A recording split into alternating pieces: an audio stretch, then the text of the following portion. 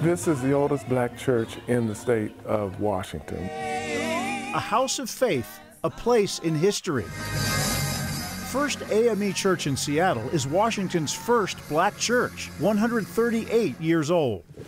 20 year pastor Carey Anderson says activism in the church is just as old. This is what we do as a church and people of faith. Especially come election time.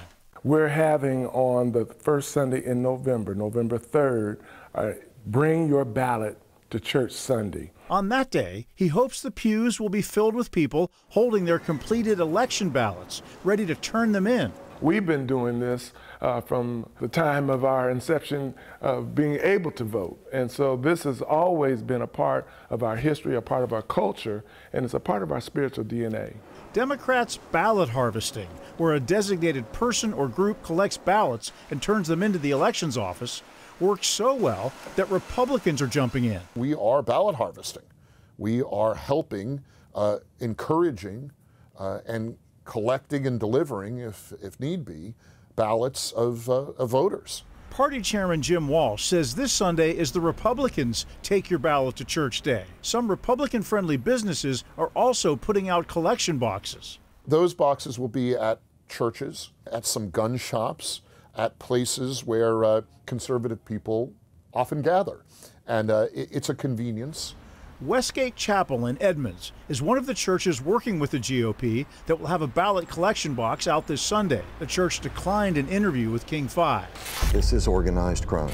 Do you have video evidence? Four million minutes of surveillance video around the country. Donald Trump's false claims of a stolen election in 2020. This mule went across six counties to 27 different drop boxes. Were bolstered by now debunked documentaries and conspiracy theories that called ballot harvesting cheating by the Democrats. Ballot harvesting was a curse word uh, among the Republican Party.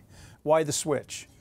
Because we want to win and we think that increasing voter turnout uh, will help us win. Republicans push to outlaw ballot harvesting in some states.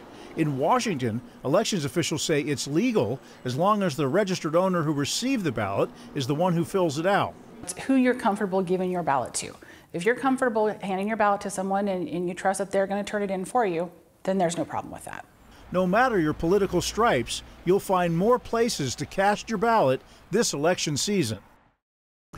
And it isn't just in Washington. Nationwide, Republican leaders are encouraging early voting, and it does seem to be making a difference. In the swing state of Nevada, for example, there were reports this week that more Republicans voted early than Democrats. Republicans, Republicans are acknowledging that discouraging early voting in 2020 actually hurt their party. Steve?